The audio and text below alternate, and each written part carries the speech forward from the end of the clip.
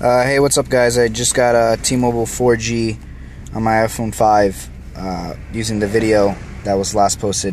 It'll be in the description or annotated. Uh, I'm gonna do another test right here. Um,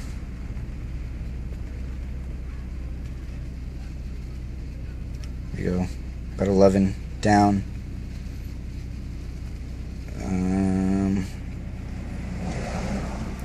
and Sorry, I'm moving car right now.